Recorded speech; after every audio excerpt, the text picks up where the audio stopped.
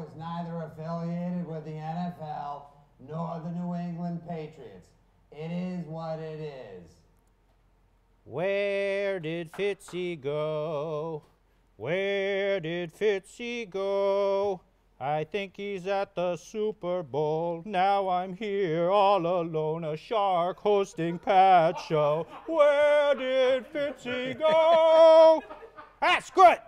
Welcome to Pat Show. Today we've got Jerry Thornton in studio. We'll hear from our pal Fitzy, mo- live from Minnesota, review the two bills and so much more. It's a Super Bowl 52 edition of Pat Show. Hit it, you humps! One, two, three, 28. Wow! Let's go! Pat show! Let's go!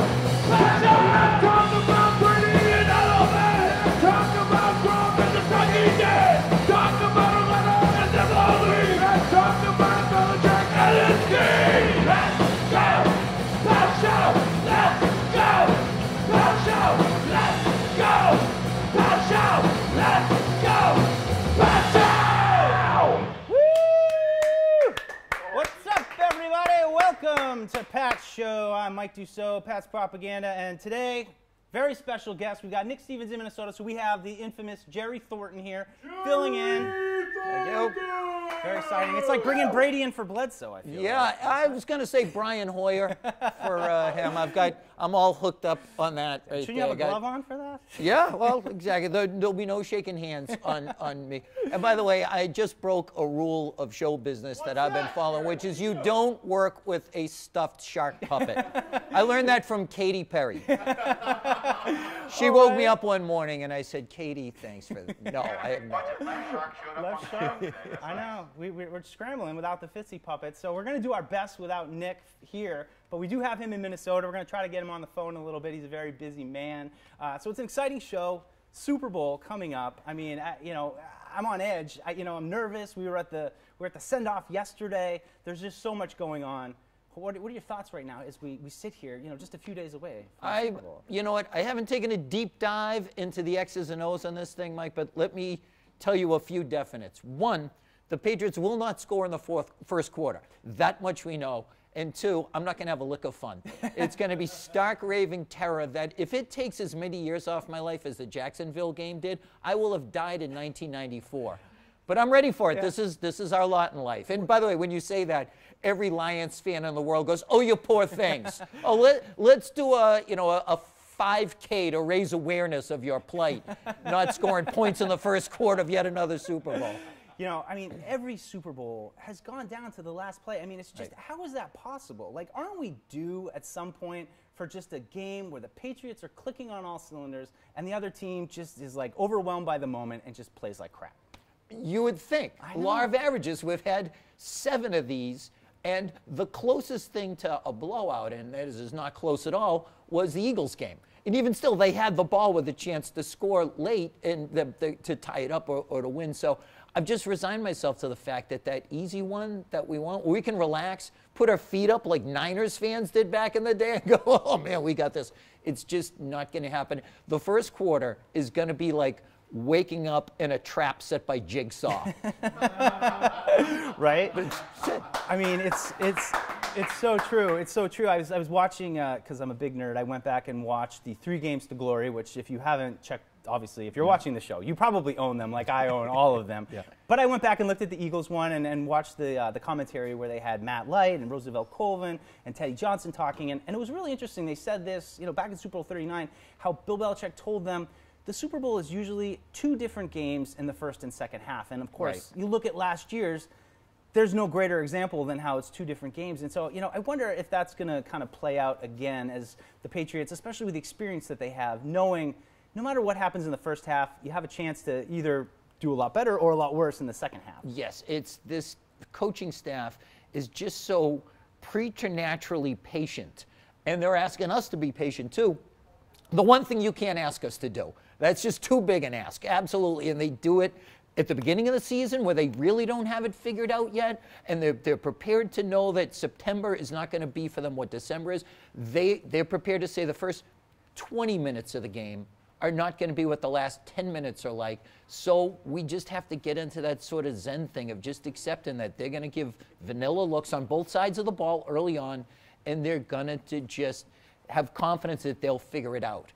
I just feel like it's going to be another one of these things against a good defense where we're going to be saying, Brady, for the love of God, save the day. You know, they're going to be sending up the bat signal, and he's going to have to come in and save oh, everyone. I, would, I just would prefer it not to be because it'd be fun to enjoy a Super Bowl Sunday. It once. would. It would be fun to just sit back and enjoy, you know, ah, another touchdown. It's 52 to nothing. This is great. Run up the score. I want that to be the Uh, controversy. no Why is he still No in there? luck. Start Yeah. getting yourselves ready now for the Super Bowl. And also, we're on Facebook Live now. We want to hear your questions. Uh, you know, anything you guys have, throw it at us. The questions for Jerry. I mean, Jerry, he's an accomplished author we have here. Little, little quick, quick, quick side story. When I moved back cross country, and I've told Jerry's this story already, uh, but my dad and I, we listened to Jerry's book, From Darkness to Dynasty, through Utah. It took us through Utah, Colorado.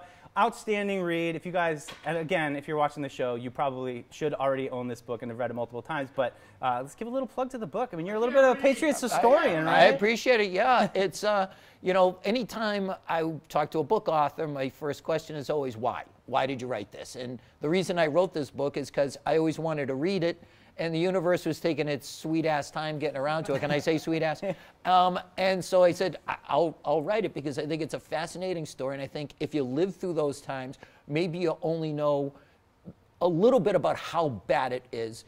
If you're like my kid who's 22 and has seen them gone to their to his eighth Super Bowl in his lifetime, when I was his age, they had never won a playoff game. And I was obsessed with this team that was a laughing stock that was always in danger of- moving until they were saved by an obscure cardboard box manufacturer. So, you know, I, uh, who turned out to be the greatest owner in sports history. So it's just, I I made it as fun as I could because I don't want. I, I was going to die before I wrote just some dusty history tome. Yeah. I'm currently through major production of my second book, also about the Patriots, which means I've officially written more books than I've ever, ever read in my life. So, um, but yeah, it's been a labor of love, believe me. I, I mean, I love what I loved most about the book was just that it was it was from the fan perspective, and, and I, you know sometimes that gets a, a negative connotation, but you know it just it felt like you lived through it, and you lived through the ups and downs, and that's what I love about fan takes and what I try to bring to my kind of stuff is like you cared, you know, it's not just like this cold media take of like, and then they won, and then they lost, and you know, and, and they, there's just no sense of emotion to it, and what I liked was that you were living and dying with every moment especially one of my favorite parts was the 76 team, uh, which was the year I came on into the earth. So uh, I didn't get to watch that one, but uh, I can go back, I guess. But that, that was a, a crazy year that a lot of Patriot fans don't really know about, and as well as kind of how the Tuck rule, or you know, kind of came back Right. to bite the Raiders. Uh, that, that season was great. Those late 70s teams were the first great Patriots teams built. They had a great coach. Chuck Fairbanks brought into thing, the league things like the 3 4 defense. The, the um, Perkins offense that they're currently using it, he was you know, had its genesis with him. And then, just as the team got some success, he quit and took a job to go coach elsewhere. 18 years later, Bill Parcells gets him to a Super Bowl. Had a great team built. Turned out he had quit to take a job elsewhere. Eh, 18 years apart, the same franchise. It's never happened before or since. And I, I like to think the second book is that same thing. It's these years, but it's where you lived and died, where you were like stunned by them winning in 01 and then they became the most hated team in the world and had some losses that still bother you. They had scandals and controversies and a guy who murdered people. And and yet through all of this they've we're now on the verge of maybe a sixth championship. It's just so surreal. It's so unthinkable. I i, I keep imagining i'm going to wake up and turns out like i hit my head in 2001 and i've just been dreaming this entire thing I mean, it's crazy. You talk about how you know it's kind of things repeating themselves, and here we are in the midst of the Patriots about to go, you know, about to go, hopefully about Yep, to go, yep. Three out of four Super yeah, let's Bowls not go all mike tomlin here But I know, I know. Uh, Don't, oh, we just, did we just give the Eagles locker room material here? I think we might have. But you know, I mean, those correlations between the first run and now are insane to me. I mean, it's just it's really it capped off by playing the Eagles again. Right. Yep. You had you won one, you didn't win, you win two. Against the NFC West, NFC South, the Eagles, both coordinators leave.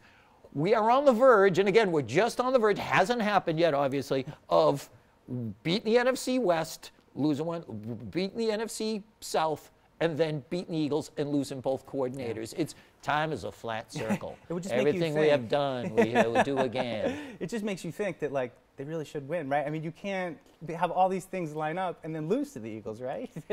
Yeah, I don't have a plan for that. I don't have so, any sort. Ah. Ah, that was tough. That was tough. Yeah, I know, I know. Well, look, we all know how it goes, and these Super Bowls come down to one play at the end, and it goes one way or the other. And you know, Right. aside from history, that's usually how it goes. So uh, let's see. Uh, let's get those questions here from Chris Leonard. Uh, what would you like to see? Would, would you like to see TB12 catch a touchdown before he retires? Um, only if it's a Marcus Mariota one. I want to see him throw it and then catch it and then, then run it in. So put that in the playbook right now, Josh McDaniels. That will be your legacy. Uh, Jerry, what would you do if the Pats score in the first quarter? Asked Stephen Canto. Because Uh, the Patriots have not scored in the first quarter of a Super Bowl. Uh, as, as, we, as was brought up to Bill Belichick this week by Mike Reiss, and he didn't take too kindly to the question, even though last year we heard the whole time they're prepping for the Super Bowl against the Falcons, Belichick was all over the team about it. Right. Then Reiss brings it up in the press conference, and he's like, well, I don't really, care, you know, he's this little Belichick thing. Yeah. Is, is the question, how will I react, or what would I do to make it happen? Because you remember episode one of Black Mirror where the Prime Minister of England had to get intimate with a pig? I, I would do that. I would do that if it would, that's what it would take, but I, I don't think it will. Look, it, it could happen. I've just learned to resign myself to the fact that let, us just skip ahead. And there have been times they scored on the first play of the second quarter, but I'm expecting zeros with 15 minutes gone. I just uh, steel your courage and expect this to It's happen. just, my, my biggest question is like, why? Why did they? Why did they come out flat in the Super Bowl? I mean, they played Right. seven Super Bowls. Like, how is that possible? That- Taking the first pitch. Taking the first pitch every time. You see where the I guess. I mean, you know, when you had like the the, the intentional grounding in Super Bowl 46, Oh, my uh, God, you know, you had all these kind of like random weird plays. It's just so strange for them to never once. Because we see it all year, they come out right out of the gate, bop, bop, bop, bop, bop, touchdown, seven zip pat, pats. Yeah, maybe your first seven Super Bowls are just practice for the eighth. I mean, like, look, look at look at how Brady's uh, going away rally, send off rally game has improved. I mean, the mic drop thing was fantastic. I bet his first one was a little bit weak. They probably let Ty Law do all the talk and maybe Troy Brown, but this one, go Patriots! Yeah. Boom. So uh, let's take another question. Uh, Dan Bye-bye, maybe? I think. I think. Try that. Bye-bye. Uh, how much of that NFC Championship game was the Vikings getting out of the dome and having a letdown game, and how much of it was the Eagles just playing out of their minds at home? Uh, I think that's a real good question because I feel like before the Viking game, like before when you're going back to look at a lot of these like previous Eagles games, you know, the, the, the- first one against the Falcons, they kind of struggled. They were managing it, you could tell. And then it was just this explosion against the Vikings, which was so surprising. I don't think anybody saw it coming. I mean, Nick Foles looks like, you know, the second coming of Kurt Warner out there. Right. Uh, it's hard to say. It's such an anomaly, kind of. Yeah, and I mean, I hate to go right to the cliche, but you turn the ball over. This is what happens. You know, Case Keenum throwing picks, you, you, they're coughing the ball up, and they got some momentum going. And I, I think, you know, the Vikings were suffering a letdown. I, I do, you know, the Laces Out podcast on uh, iTunes, on Barstool Sports with AJ Hawk and Pat McAfee, two NFL guys who agreed it just, they hit such an emotional high winning that game that they thought was lost uh, against New Orleans Yeah. that they just weren't mentally prepared for it, and it happens. It's a And then- letdown. Yeah, with, Yeah. if we're lucky, maybe the Eagles feel like okay, they had their their Super Bowl. They've had their you know underdogs twice, and they have a letdown, but I'm not counting on it.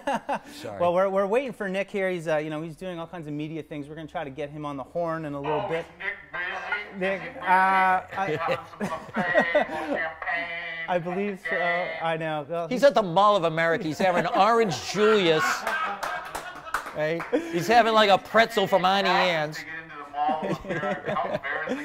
I mean, both teams are staying there. They're doing like all the press media row is there. I mean, it's crazy. They just piled everything into the Mall of America. And before the show, Mike and I were feeling sorry for ourselves that we're not there. And then you just remind yourself it's one of the few places in North America that is lousier than it is here, and it's overrun with Eagles fans. You know, so I'll I'll go to the Hanover Mall and I'll go spinning through the AC Moore there or something and try to you know recreate the experience. I mean, it feels like Minnesota here. We had to like trudge through snow to get here. I mean, Jerry's driving dozens of miles. I, you know, it's it's we're, we're dealing with our own elements here on Super Bowl week for Pat Show. So I don't know. Should we run the? Uh, should we run our video from yesterday's let's send let's up? go check the So tape. Let's go yeah, to the tape. let's go to Let's the tape. go to the videotape. Yesterday, me and Paul here from Media Boss that we went down to the send off, which was just crazy. I mean, so many Patriot fans there. I mean, getting there at 3 a.m. I mean, I, you know, you just when you've seen the craziest, the crazy Patriots fans, you go there.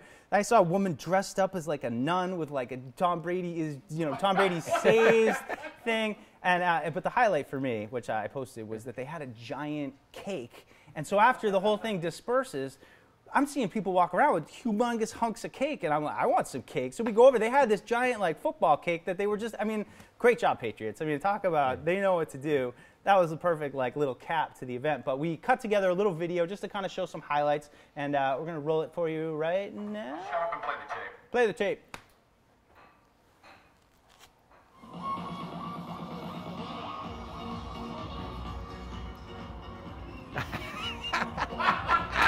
Welcome you here to Energy Plaza as Patriot Place for our Super Bowl 52 send-off rally. We want sex. We want sex. We want sex. We want sex. Oh, thank you.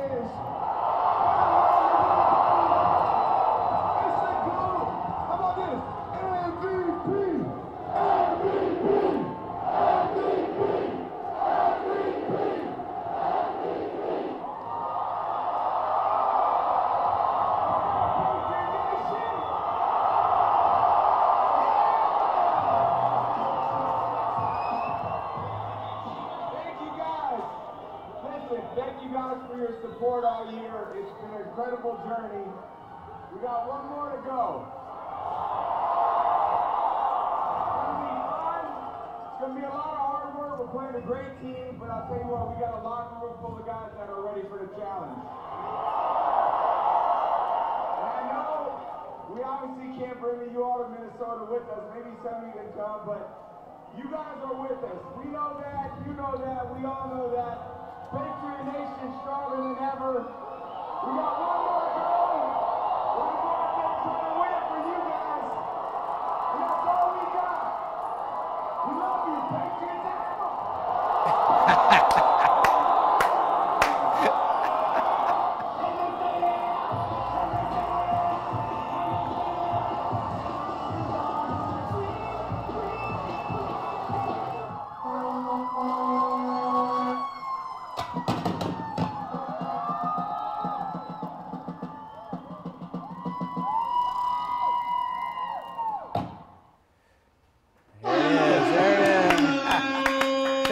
times. Good times. Uh, Matthew Slater's reaction, I could watch that forever. It was like, "Hey, kick it off now! I want to, Oh. I want to take someone's head off. I And- couldn't believe he did that. I mean, I was just like, did Yeah. he just drop the mic? And, Yeah, and how about Brady with a tough act to follow? Mike's dance moves. right.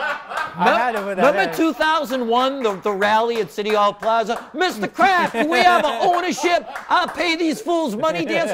You made him look like Chris Brown. I had to throw that in. I had to throw it in. I also, I also tried to put a, a video of me eating the cake in there, but my wife, like, she's like, maybe take that out. Take that. I don't know why. She didn't like me eating the cake in it, but, but, got you cake. but luckily, right here, thanks to our friends at Media Boss, we've got, Nice. we've got more cake because you know. Is this Patriot send-off cake? Well, actually, it was. Uh, yeah. Do I have to eat it right now? All It- right. It's from the TB12 method book. Yeah, this like is- you, there are certain there are certain types of cake that you're allowed to, It's allowed to delicious. have. I can taste the avocado in there. it's wonderful.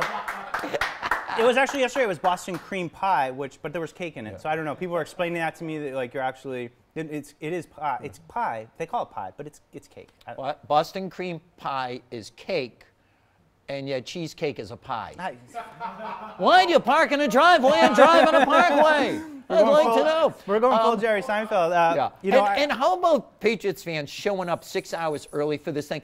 I was worried years ago about what I was calling the Yankee fanification of Patriots Nation, that everyone would just get blase. I've been to games where they weren't enthusiastic, where a winning streak could be snapped and they're streaming out of there in the third quarter. No, it's not happening. And the reason is this idiot. I'm not pointing to myself, I'm pointing to him. Governor Tarkin, the harder you tighten your grip, the more star systems squeeze through your fingers. keep trying to come at them. Everyone, keep trying to discredit them. Call them cheaters. All you do is you continue to energize the already most engaged, net savvy, and enthusiastic fans in, the, in all of North American sports. Keep it up. It was awesome. It was a Monday. It was a Monday, and there's kids, and you know, I, there was one lady. She was pushing a stroller full of like three babies. I mean, she like packed her triplets out. To, you know, and they're not even gonna remember this, but you know, someday she'll be like, "We were there," you know, like at the send off. You know, like I, like literally the Patriot, the actual captains in Belichick. I mean, they were like half hour late. They came out for like eight minutes. I mean, it was just they came out. Belichick was like.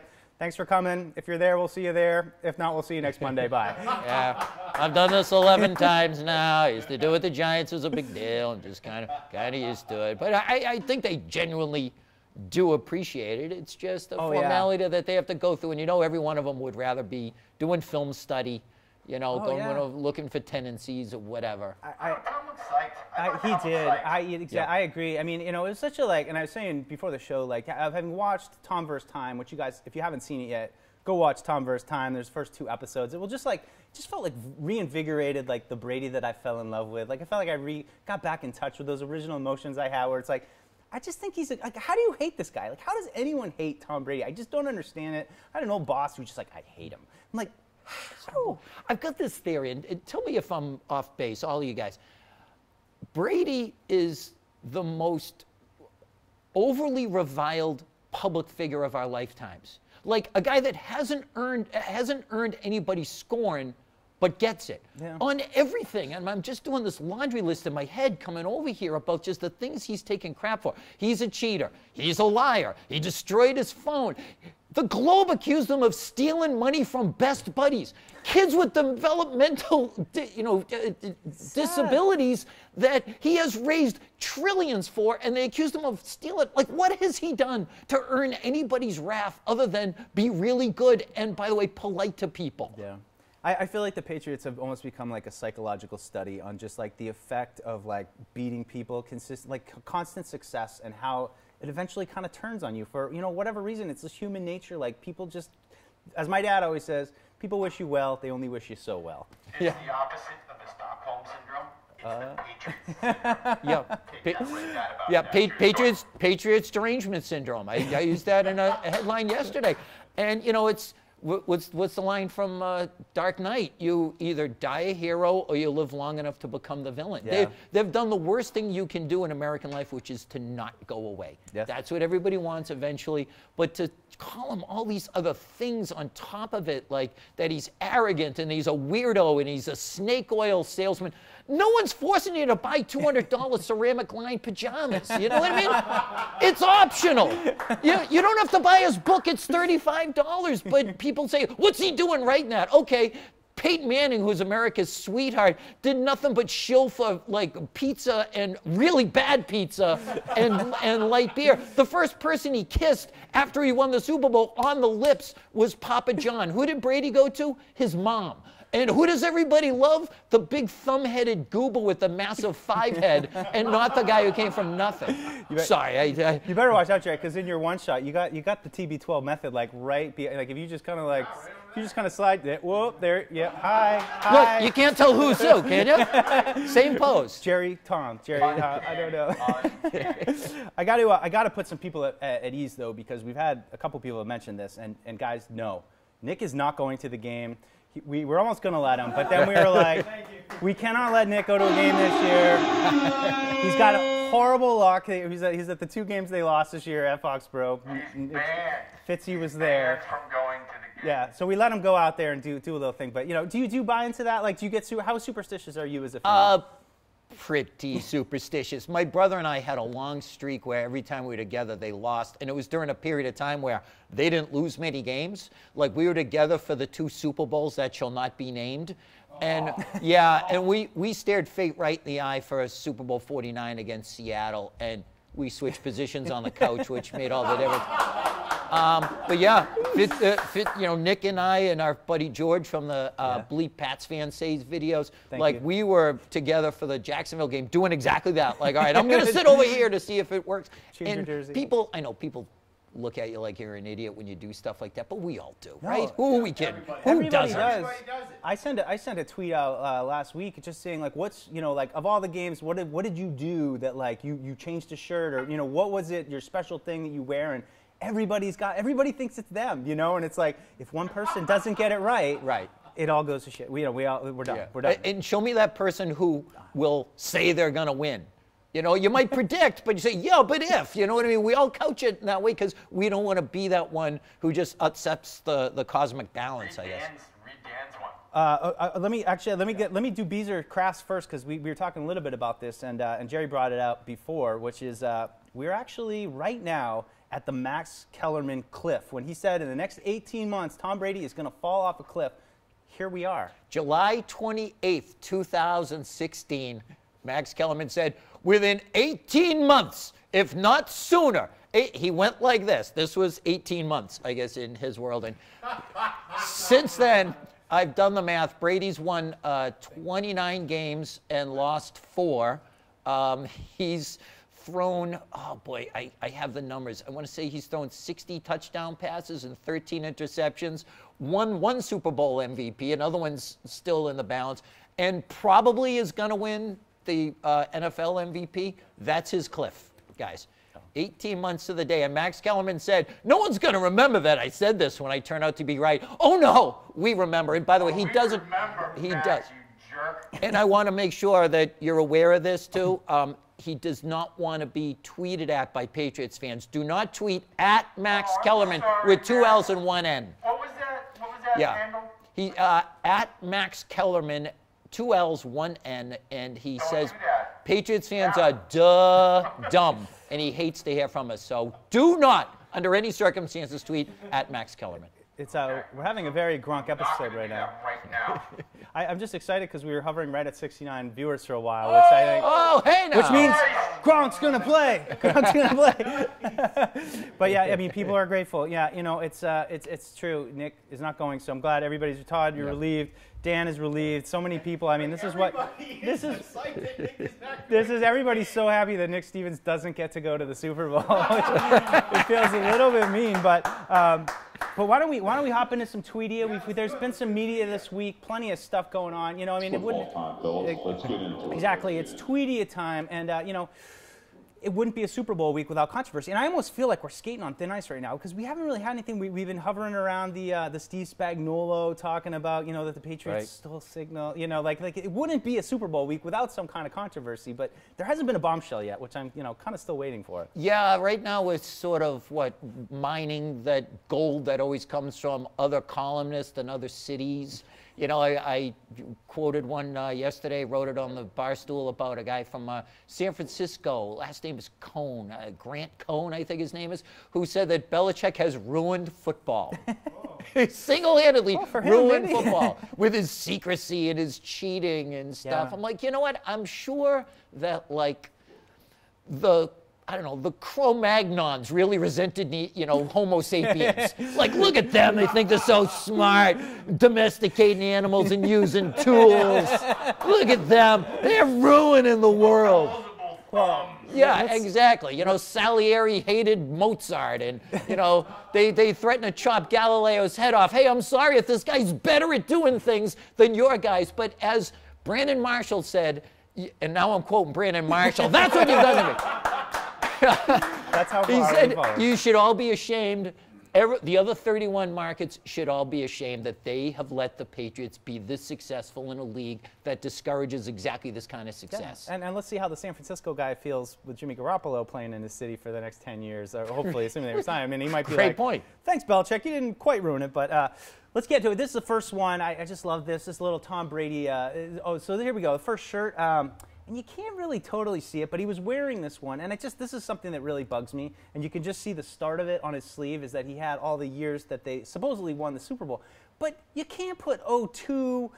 05 like Because it wasn't the year, you right. can't do the february you got to do the year the season happened so i was like that's wrong you got to change it to 01 03 04 and that's how you refer to it right Yeah, I'm with you. And I, I ordered off of, and don't judge me, I love Jeopardy.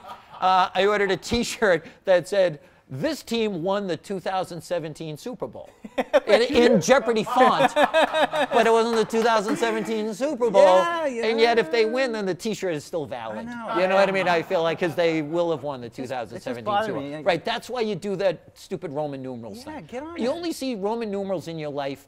Uh, the Stations of the Cross at Catholic Church, Rocky movies, and the Super Bowls.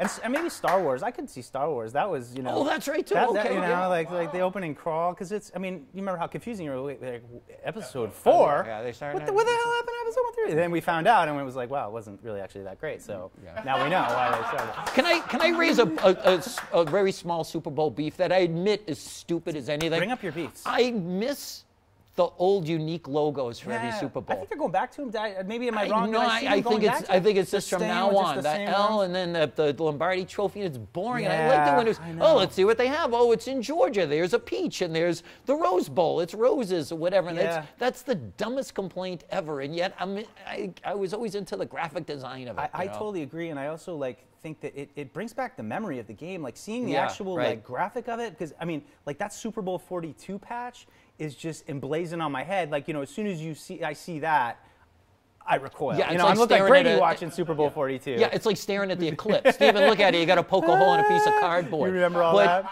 But the one against the, uh, uh, you know, we all have like a beer koozie or something that has the one against the Rams, Yep. and that you, you look at it, it has instant memories. Whereas this one, you got to go. just all coming Wait, with the there's two eyes I, after I, that, or I, whatever. you know. I I. The other one that bugs me too is uh, the G, the GU, the Gene Upshaw, which was the Brady game that we won't mention in 2008. They had the big GU Oh, right, uh, right. on the on the, and that was the. Yeah, well, let's not talk about that game. Yeah, I- that I MHK was gonna be so magical, Ah, and yet been. it brings back bad memories. Yeah. You know. All right, let's throw the next one up there. What's that? Oh, Oh yeah, come on. all right. Oh my god! Yeah. Yes. yeah. Oh my god! And here we go. It's uh, and, and we just got a text from Nick, so he is ready. We're gonna get ready to call him, but let's let's let's lay into Mark Wahlberg for a second because we call him the enemy of the show, because we just don't buy his whole "I left the Super Bowl early because my kid g- got sick" or something. Right, and then he changed his that story. My kid was so upset. Oh, well, we love too much. He's too That's our problem. We just we're too passionate. Stop. Get And- out of here! And now he comes up with this. Uh, I think the Patriots win by 17, but if the Eagles win, I'm telling you, I would be fine. If anybody else, I would be devastated. How excited am I to have the Eagles win? Uh, Yeah. Mark, you're How not. you doing, Mark? he's going to continue to be the enemy of the show, uh, you know, until he can like turn. I don't know. I think he's. I think I, you know. Because he played an Eagles player in a movie. I saw Ted too. you went at Brady in his bedroom with a red solo cup, looking for a little bit of boy matter, and you know you that should trump playing a guy in a movie that no one saw Invincible. That's that's that, that's the one you might watch on cable if you're sick. It was the one know? non right? It's like the one non-Boston movie that like Mark Wahlberg was in. I go to like a Philadelphia movie. What are you doing in this? It's like, you and know. he's the guy that they chose to announce the banner drop this year. Oh, What uh, know, is he a I fan He or is he booed, not he a fan? So you can't. There, there's an old expression that uh, JFK used to cite all the time. It, it comes out of Dante's Inferno that the hottest places in hell are reserved for people who stay neutral in a moral crisis. The Super Bowl is a moral crisis. You can't be neutral. It's one or the other. There are no half measures. Crazy. Yep. All right, let's get this guy on the phone. Uh, five five five. Five five five fifty. It's like a Jerky Boys bit. Oh, do I have to dial nine to dial out here? Uh, uh, di- This is- all right, Yeah, sorry. Uh, this is old. I mean, I don't. I'm not used to. yeah, come on, guys. We're burning people's bandwidth here. Oh, it's me. It's ringing. It's ringing. Reporting live from Super Bowl 52, Nick Stevens from Pat Show here. Nick, hello. There he is. There he is. We're floundering here without you, Nick. It's just been. Uh, it's just been, so far been about a half hour, just me and Jerry staring at the camera, just saying we're having a good time. So we miss you. Tell us what is going on in Okay, Minnesota. now my week can officially begin because I just got the Show air horn. You, you missed it, didn't I you? wonder What? why I wasn't able to sleep last night. It must have been. It definitely wasn't the two IPAs, the pounded cheese curds, the sliced sausage, and the fries. What- You guys, this is this is beyond surreal. Imagine whatever is the next level of outrageous, surreal, and unbearable. I mean, Jerry, unbelievable. Jerry, you were here a couple of years ago. You can sort of speak to the size and scope of all of this and how awesome it is, but at the same time, like kind of how overwhelming it is.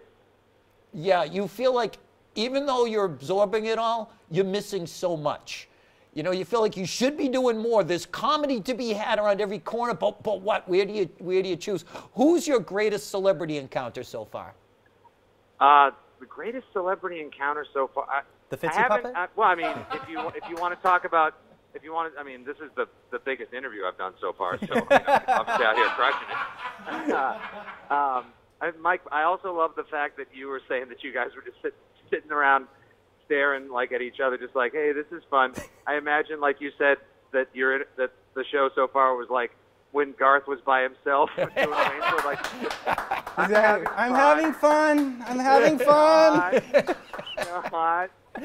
So, Uh, are, are you, so the biggest one so far last night was being I was on dude, I was on the floor last night for media night. I mean, I wasn't armed. I was the closest I've ever got. I even put I put a little Instagram video up on uh, Fitzy uh, Instagram.com slash FitzyGFY. I did a a video where I just I showed everyone how close I had gotten to Brady and that that was the closest I had ever gotten to him at that point. You know what the pro move was? Wearing an adult diaper so that in case I peed myself a little bit, it wasn't an issue. Nick, who else did you get to? Did you get to talk to any of the uh, other Patriots uh, players last night? I did. Uh, I went up to the only, the only player of the ten that are at the special, uh, you know, museum style podiums. The only one I was able to get close to because they're just such a throng of people all dressed in ridiculous Dora the Explorer, people in lab coats. You know, you're not you're not sure if like a Halloween shop exploded or if it's like people waiting in line to audition for Top Chef or some other foolish reality show. So you go, and I got up close to Matthew Slater at the end, and as he's walking away from his podium, he gave me an "Oh yeah," which is like, he was like gave me just a little bit of a little bit of a Pat's boner, which was kind of awesome. But in terms of guys I got to speak to, um, I interviewed Adam Butler, uh, big guy. Uh, saw Malcolm Brown. Uh, my favorite was Brandon Bolden by far. Man, I want him to score more touchdowns, not just because I've got a ton of money on him as a prop bet to score in the Super Bowl. He's such an awesome guy. He totally gets it. Like he's into geek culture. He loves being a Patriot. Uh, totally accessible, funny, lighthearted. Uh, and the two of us agreed that the one thing we all need more of in this life is we all need more James Devlin. He's like, he's like, man, you have no idea how much easier it is to do your job when you got Devlin running in front of you. So we agreed that everyone from now, I'm not going shopping ever again unless I have a personal Devlin to open up holes for me to buy quicker. God, now I feel bad because I've given Bolden a lot of crap over the years about not being able to break tackles, and you know, it's like it's like you just talk about these guys as football players, and then like you realize like they're just real guys Yeah. trying to do their job the best they can, and you're like, you suck. You know, Yeah, like- it's like you, you, they say you're not supposed to meet your heroes. Sometimes you're also not supposed to meet the guy you're all hacked off at. You know, what I mean? like you know, sometimes I'll have problems oh, with like Joe Thuney or whatever, and I saw him Yeah. uh, do a Rubik's cube in in one minute while he was doing an interview with somebody. I'm like, uh, Joe Thuney, I'm sold on you for the rest of your career. so Nick, Uh, we, and, we and I heard so many ridiculous questions being asked, and I heard so watched so many people like try to seem like they were like, "Hey, uh, yeah, I'm totally not uh, making this seem awkward for both of us or anything right now." So, um, what's your favorite character on Stranger Things? and, and then there's everyone like, and then they all get the death stare, and they all start like brow sweating, and it just becomes awkward for everyone. Speaking to the idea though of be careful about meeting your heroes. Um, I so I had I had uh, the polar opposite in reactions last night. I got to meet LaAdrian finally. La, LaAdrian Waddle was one walking around. He got some attention. I came up to him. I told him I loved him. We chatted for a while. Uh, he he made me promise that I would mail him a double X uh, Let's Party hoodie because he loved it so much. Um, and then I even posted the picture of the two of us it was on my the Fitzy Instagram, and I put it on the Fitzy Facebook page this morning, and I spelled his name wrong, and he wrote from his own Facebook account. Maybe next time you can learn to spell my name correctly. Wow. Sick bird. and then I got a, and then I got a lull afterwards. So now, guys, breaking news. I think I think Adrian and I are like best buddies. The now. friends? Uh, yeah. All right, we got to get a, we're we, La friends. we got to get We're him on the buddies. show. Oh, dude, he's so nice. Oh, 100%. I have a feeling he would totally do it. He, he's such a sweetheart. He's a giant human being. And I and his response to it was like, wait a second, you are way too nice. He's like, yeah, that southern, those southern roots, that southern charm goes a long way, man. I love New England, but I'm just not like, you know, a New Englander now. And then uh, I asked him, What I was hell like, does that mean? how did this happen on Sundays? I was like, where did, how do you, like, you do three hours of pushing people around, protecting the quarterback, and getting in human car accidents. What do you do? He's like, I go to a real dark place. And I was like, I am not going to have So Nick, we got we got a lot of uh, comments, and people were very, very, very concerned that you were going to stay there and go to the game. But we reassured everybody that you're not allowed to go to the game. You're coming back. You will not be in Minnesota for the game, uh, and everybody was very relieved to hear that.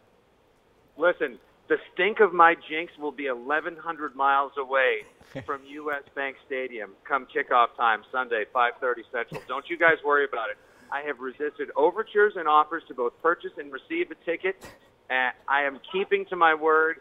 And I'll tell you, Jerry can probably attest to this as well. After a week of all the hoopla, the hype, the hot takes, the ball talk, the broadcast, and the banana pants, in the in a lot of ways, the last thing I want to do is watch a football game. I want to go home and just like talk to my friends, see my family, put my feet up, eat a frozen pizza, drink a beer, and cheer on my favorite team. Nick, what else you got planned for the week uh, before we let you go? What uh, what else is on the docket for you? Anywhere uh, you can pitch for people to check you out? I know you're. Are you part of the uh, the Not Done Network? Are you gonna be on that? Yes, I just actually finished uh, an interview uh, with somebody from NFL PR talking about how they put together this, the insanity that is Radio Row, which is in a food court in the Mall of America. I'm going to be going out every day and shooting a first person fan perspective, doing the fan on the street work, uh, guiding people throughout the town from the NFL experience to the parties and more. Uh, plus, I'm doing uh, radio stuff on WAAF every day. Uh, and my brother touches down in about two hours, and we're going to go out and shoot a couple of uh, slice of life vignettes, comedy sketches, and maybe we'll even sneak in a uh, a quick Fitzy Wicked Pizza webcast before all is said and done out here in the land of 10,000 lakes and six Super Bowl victories. Let's go, Pat. All right, Nick. Well, we'll let you go. Thank you uh, for checking in. Hopefully, Nick, you'll be we'll be back. Pat show next week. We have no idea what that's going to entail. Whether it'll be a depressed Pat show or a live from the parade Pat show, or uh we just are sitting here eating cake by ourselves and drinking mimosas Pat show. But uh, enjoy the rest of your time uh, in Minnesota. We'll talk to you when you get back. Awesome, guys. Jerry, thanks for filling in. Have a great show. We are the Storm, LFG. We are not done. And Mike, if you could do me a favor, Ian, everyone at Media Boss, have a, a case of Dom Perignon or a casket on hold for next week, depending on how it goes. We'll do it. Thanks, buddy. Love you guys. Go Pats. Go Pats. Nick Stevens. I mean, we had to have Nick on. I mean, it wouldn't be a past show without that guy, right? I, well, I'm a little disappointed. Where Fitzy? I'm a little disappointed he hasn't had a good celebrity encounter. Yeah, I, yeah, did I you- had, you have I had two that, or well, one was a double because I met both of my spirit animals, Tara Lipinski and Johnny Weir. Oh, I saw the picture Uh, yeah, yeah. I basically like fanboy creeped up on them at media day and grabbed them, insisted on a picture. And poor Johnny Weir came out blurry in it, but it's still one of the greatest moments. And I also met Kid from Kid and Play, or it was Oh. Play. I'm a little unclear on it. They were never really clear on which was which. But yeah, he was hanging out at like the the media party. Those are the most random celebrities. Like, how do those people get to go to the Super? I mean, it's like, Uh, what are you doing at the Super? Tara Bowl? and Johnny do everything. Oh, yeah. It was an NBC um, Super Bowl, so they had them there. Like they take off from skating to go cover like the Oscars. Like they, you can't get an event worth doing in America without having those two there. And uh, Well, we know yeah. you're a figure skating, like you're a side fan of figure skating, and that's. I mean, I've seen some tweets about going to figure skating things and stuff like that. So I, I get it. I get world, it. world champ. Football time. Thank you for reining Sorry, that in, sorry, Coach. Can we? Can All right, we I'm gonna have to through- run a lap. Can we rattle through the last couple uh, uh, tweetias? Is that we got a, a couple more? Yeah. Let's let's. Here's a little video for you guys. Let's roll it.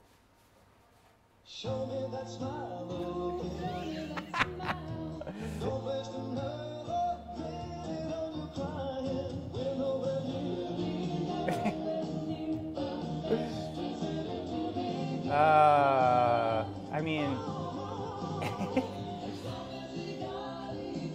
it's like chubby. They, here's the thing. I just love old chubby Brady, and I got to credit. It's Stevie Drama, good follow, uh, good guy. He's been following us forever. Uh, it just isn't it amazing how just round-faced he is, and then like you just you just see him literally like you can see the avocado and all the, the pliability training like. Oh, It's- 100%. is- isn't it insane? Never It- happens. It never happens. I know. And, and back in the day, I think I was a little less aware of what constitutes a good looking guy versus a not good looking guy. And I'll never forget, after they won the Super Bowl, he started getting magazine covers. You know, he was on the People, and it said, Tom Brady, uh, uh, quote, those lips, that chin, that Super Bowl win! Exclamation! I'm like, Bra- Brady's a good-looking Yeah, guy. I know, you know? right? Then a couple of years ago, they show a sideline shot, and it's him, and it's Jimmy G, and it's Amendola, and it's Edelman, and I'm with a bunch of couples, and someone goes, "That is like the Mount Rushmore of handsome." oh wait, it was me that said it. And I go, I'm in a room full of like hot milfs. How come I'm the one who's pointing out how dreamy these guys are? But yeah, he flat out is. Twice as good looking at 40 than he was at 23. How? How right? is that possible? And no, no, and also th- another thing I noticed is like it, he's kind of growing the hair out a little bit again. Like every time he kind of gets past his normal stage, you're kind of like, are we going back to 2010 long-haired Brady? Because that was a crazy season. That was tough. Where he had like yeah. the long locks flowing. I, that that always just threw me off. Yeah, that's when people had started counting how many years since he had last won one, and they were calling Gisele Yoko and God, you know that? whatever. Yeah. Uh, all right, we got one more little tweetia, and I feel like this is the uh, this is the Alex Reimer Brady's daughter thing, which you know has been well covered, and uh, we feel like we could throw a little two cents on it. But uh, in case you guys missed it yesterday, Tom, respectfully, cold-heartedly, just cut the interview kind of short on EI. I know you're a former EI guy. I don't want to Sure. get you in No, trouble. hey, I got but uh, but you know, it just I, I- this is the kind of thing where I feel like this is why we do Pat Show because we're not we're not talking about Brady's daughter. I mean, it's it's all these things that kind of the hot takes and trying to like fire people up, and you're just trying so hard to get an, a reaction from people. You lose sight of the big picture of talking about sports and making entertainment and making it fun for fans to watch. And you know, this just it just crossed the line, and I think everybody across the spectrum knew it. And I was just so happy to see Brady kind of stand up for himself because you know, as a father, somebody says that about your daughter it's it's go time. You know, you're red in the face. You know, so I just I was glad to see that happen yesterday. Yeah. Reimer's a freaking tool. He's a tool. Right. It all comes from that culture where it's got to be all about edge. I've got more edge than you can handle. Here comes my edgy hot takes. And so you go off the rails saying stuff that nobody can see that video and objectively say that that is anything but an adorable little girl with a, a nice family or whatever. But there's that element in the Boston media that is so predisposed towards hating everything about this guy. We hate that he's secretive. So he does a documentary series where he talks about, he shows you that side of his life that he hasn't shown before. Well, what's he doing? Why don't you shut up? Why is he showing his daughter? Like, he, he can't, Can't win. win. In a world filled with bad people, we're going to focus, like, uh, we're going to look for flaws in this guy who's done nothing but handle himself with class in public. It's, it's insane. I don't know. I, don't- I guess I don't root for people to lose their jobs, but he deserves to be reined in Yeah. because it's, it's way uncalled for. Yeah, yeah. Well, I mean, Yeah. uh, but all that aside, I mean, the Tom versus time is is great, and Mm-hmm. we were talking about it a little before the show. Uh, definitely check it out. But um, my favorite moment was just he's watching film and talking about how he can watch film for hours and you know just sitting there studying, and then he's bringing up old games and he brings up Super Bowl 42, and to watch him sit there and just looking at him, it's like that's exactly how I look when I watch Super Bowl 42, or a highlight comes up with a helmet catch or something. You know, it's just and it's just a reminder, as was yesterday, of like we're just all in this together, and we've kind of been through all these ups and downs with Brady. So it's like that's why we feel this connection with him. It's you know we feel the same way about that game that he feels. I mean, granted, he was playing, I was just sitting drinking on my couch, but you know, it's kind of a correlation there. po- positively and and not just that part of the preparation but just the physical eh, like price that he pays to, to be as good as he is. He's there working with Tom House on his torque and his left elbow and how he can get more behind the ball or whatever. And I, I, I said, this is 21 years after he was a freshman at Michigan. He's working on this minutia to get even better. And you watch that and tell me you don't look at it and go, he's talked about playing till 45. I think that's a low estimate at this point.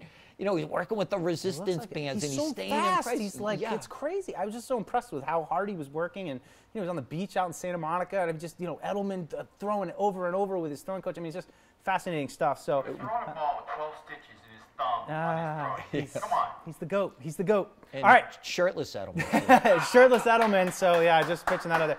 So Jerry has gonna had the a moment. opportunity to already see the two bills, which is a 30 for 30 that's coming up this Thursday night on E ESPN. And Jerry, we, we, we want to give you a little no spoilers, No spoiler spoilers, free. spoiler but uh, free. the the rumors coming out that this is fantastic. What what did you see? you know, Mike, you you have great storytellers, and then sometimes you have great stories. Like, uh, you know, Steven Spielberg made a great movie series out of an archaeologist. You know, but then I saw Zack Snyder take the two most iconic superheroes of all time and make a piece of crap, a fanfic that looked like he took three hours of celluloid and ran him down his butt crack.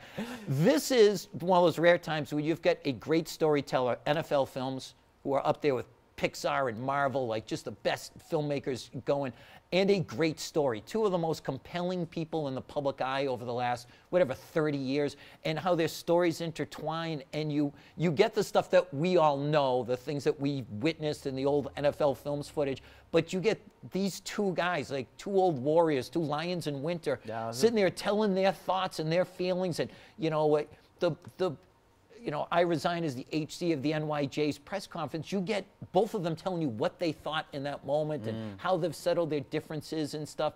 And it's fascinating. And here's, and again, no spoilers, but you get treated to Bill Belichick haircuts down through the years. And I'm going to just give you this teaser a mustache.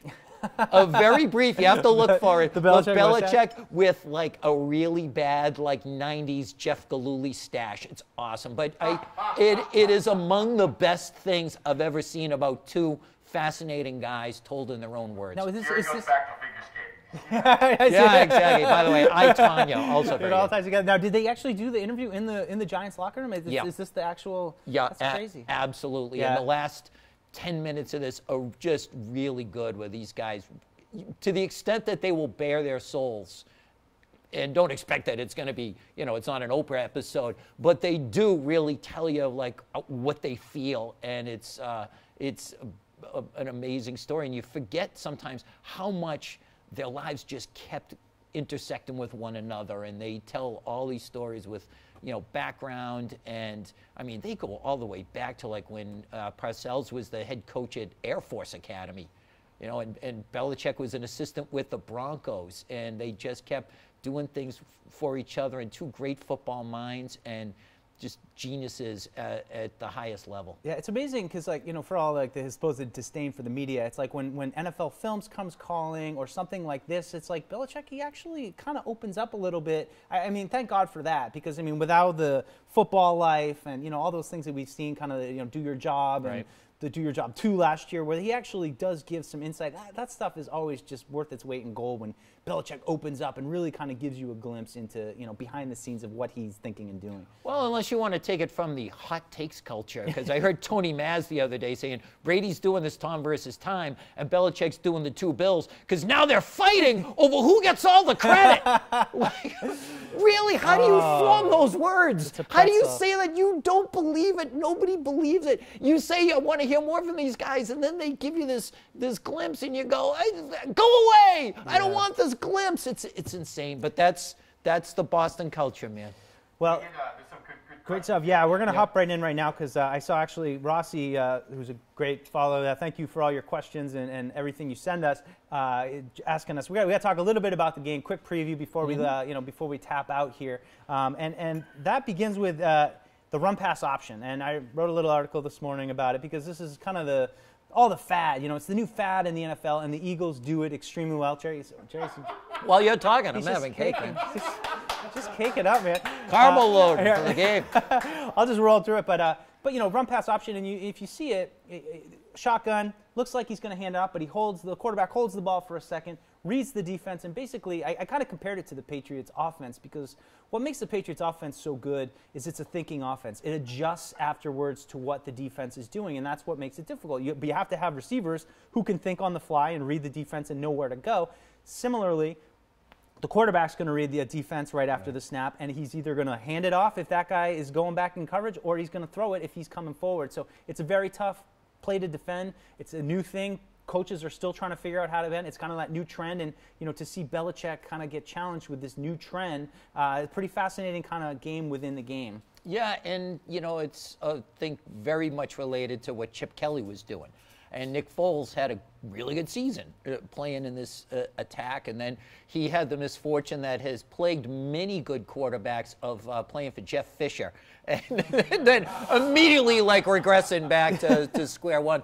So yeah, hopefully there's enough tape on this that they can figure this out, and it seems like it's something you have to, as you wrote, like you have to disguise what you're doing. Yeah. Which they were doing eventually in the Jacksonville game, but early on that look wasn't even vanilla. It was it was ice milk, you know. But then they finally Yeah. adjusted and they did a Bears front, which is like five men, and you got a guy on the nose and then two guys in the in the three tech, and Jacksonville wasn't quite ready for that. So hopefully they're hitting the ground running with something that's going to work right from the beginning. You turn Foles over a time or two, and it's a whole new ball game. Yeah, a, couple of points of like, you know, college football is really dealing with this, and some of the things I kind of unearthed when I went down the run pass option hole uh, was, you know, play man to man defense so that, you know, you're not playing off coverage because that gives, you know, an easy slant throw. Uh, mixing up your coverages up front. And that's really what the Patriots do really well. You know, traditionally, I mean, they've been uh, very vanilla because they've had injuries.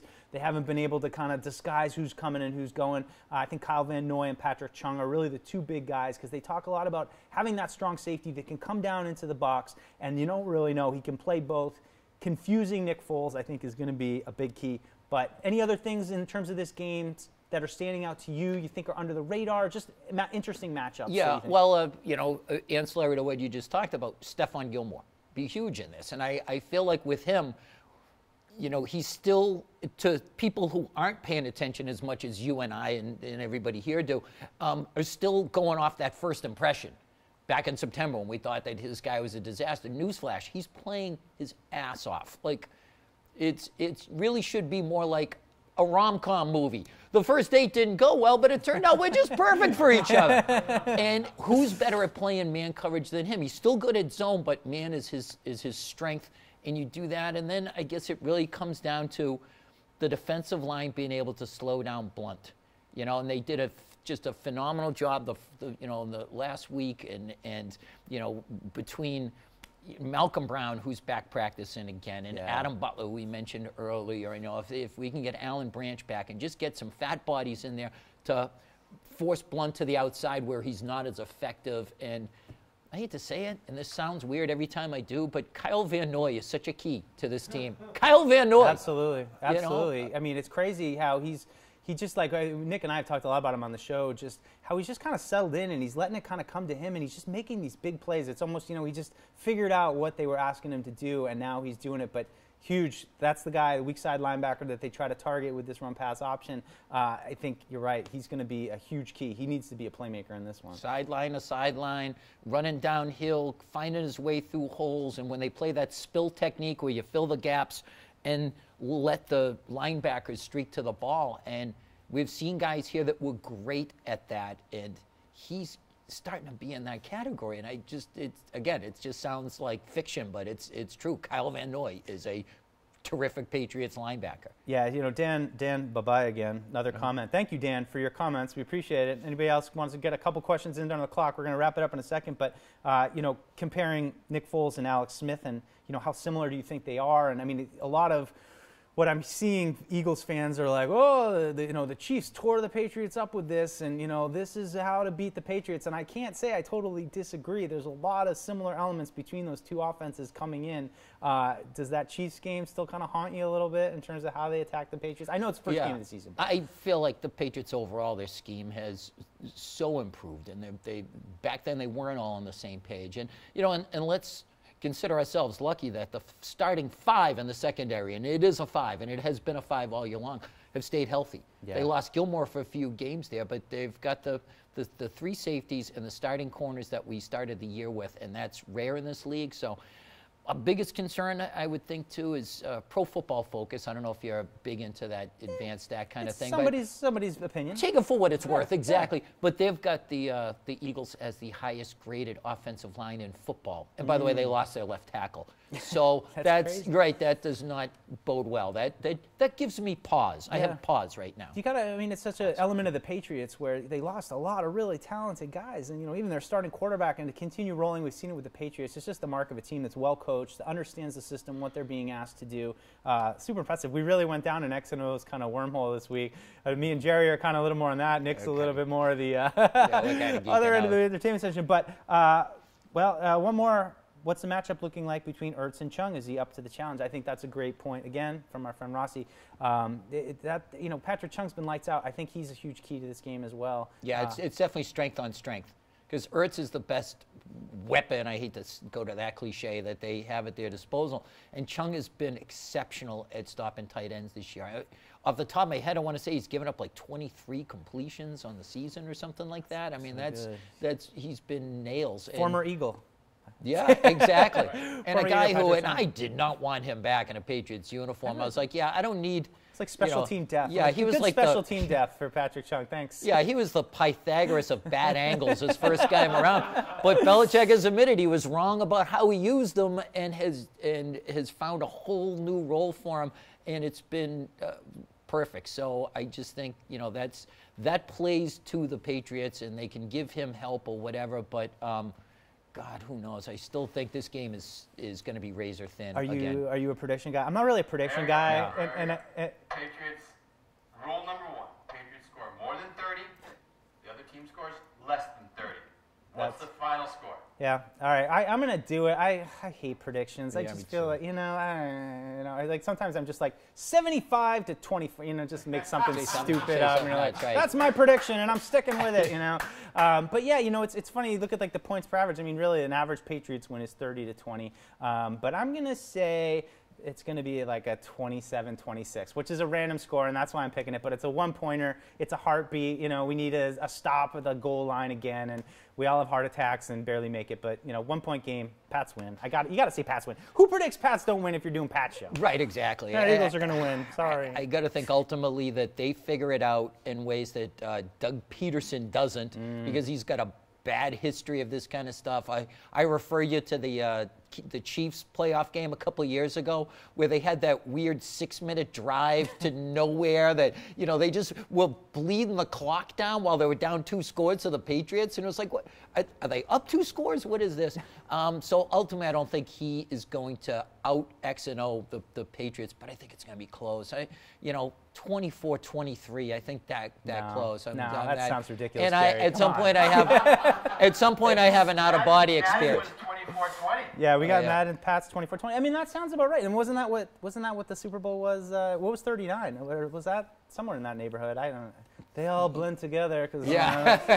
what was that Yeah. Super Bowl score? So. Patriots end up winning that one by three. Three. Okay. Yeah. So, all right. Well, that should just about do it. We got one more last thing, and we already saw a little bit of a tease of it in our video that we did from the send off last uh, earlier in the show. But this was just such a great moment. I feel like we need to run this one last time. It is the Brady mic drop, our upon further review. Check it out, all its glory. Just the look on Brady's face. Mwah.